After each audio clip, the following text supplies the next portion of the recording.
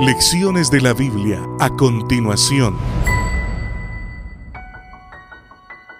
La lección bíblica para el día de hoy lleva por título El hermano como modelo. Hebreos 12, 1 en adelante dice, Por tanto, nosotros también, teniendo en derredor nuestro tan grande nube de testigos, despojémonos de todo peso y del pecado que nos asedia, y corramos con paciencia la carrera que tenemos por delante. Versículo 2. Puestos los ojos en Jesús, el autor y consumador de la fe, el cual por el gozo puesto delante de él, sufrió la cruz, menospreciando el oprobio, y se sentó a la diestra del trono de Dios. Puesto los ojos en quien dice, en Jesús. ¿Por qué en Jesús? Porque en la carrera de la fe, este capítulo es la continuación del capítulo 11 donde se mencionaron a muchos personajes que avanzaron en la fe, que progresaron en la fe.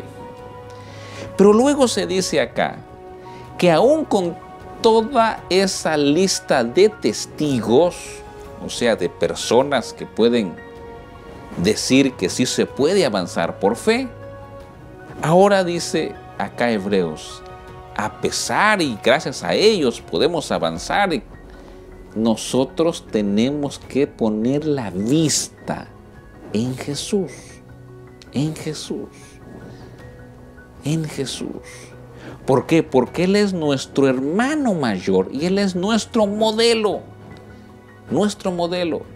Cuando revisamos el capítulo 11 de Hebreos, tenemos a personajes como Abraham, por ejemplo, el padre de la fe. Sin embargo, si lo tomamos a Él como modelo, de pronto podemos ver aquellas cosas que incluso Él hizo negativamente. Y podemos hasta justificarnos y decir, ¿cómo Abraham? Pero cuando miramos a nuestro hermano mayor como modelo, es decir, a Jesús, entonces la situación va a cambiar.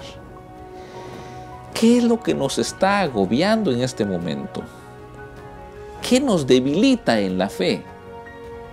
¿Qué es lo que más hemos encontrado que golpea duro y que esa fe que teníamos robusta de pronto se empieza a debilitar? Tal vez sea que nuestra mirada la estamos poniendo en algo, en alguien, o en las circunstancias que nos están rodeando, o en los golpes que la vida nos está dando, porque no tenemos trabajo, lo hemos perdido o nos ponemos a mirar, las personas buenas les va mal y es más, las personas buenas muchas veces mueren y los malos parece que les va bien y eso puede distraernos. Y el texto acá es bien claro, puesto los ojos en Jesús. ¿Por qué en Jesús? Una vez más, porque Él es nuestro hermano mayor, Él es nuestro modelo. Yo te invito a que de hoy en adelante en realidad podamos poner a Jesús como nuestro modelo y nuestra vista esté en Jesús.